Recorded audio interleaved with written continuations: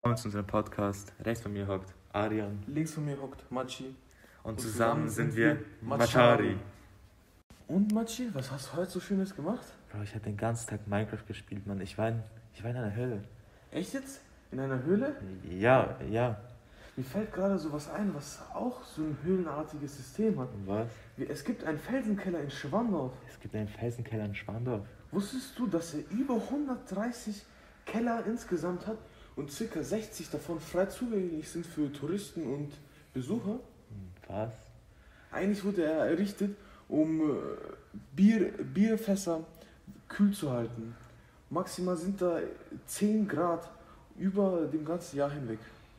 Ist das nicht ein bisschen kalt? Ja, schon, aber du kannst den Ort ja auch mit einer Jacke besuchen.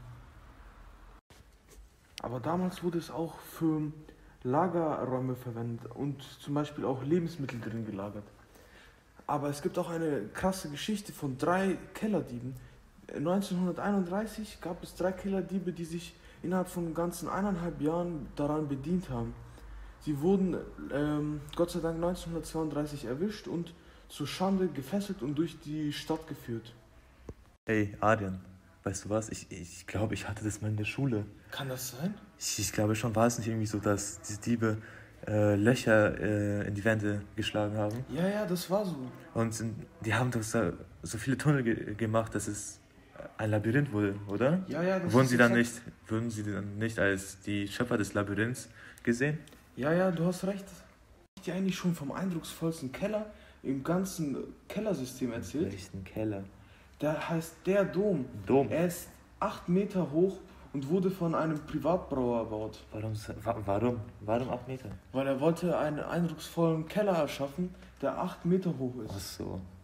Es gab in dem ganzen Kellersystem überall Inschriften, die in Form eines Bierfasses eingepresst wurden, die einige Jahrhunderte alt sind. Wa warum hat er das gemacht? damit sie sich verewigen wollten. Es gab haufenweise Leute, die ihre Keller äh, als Familienerbstück weitergeben wollten und somit auch Privatbrauer, wie der gerade eben genannt, seinen Stempel abgegeben hat. Also einfach verewigen, ja? Ja. Matsche, leg den blöden Controller weg und komm mit mir in den Keller. Bro, ich komm mit. Okay, los. Also danke fürs Zuhören. Ich hoffe, wir konnten euch etwas beibringen. Äh, Das war unser erster Podcast.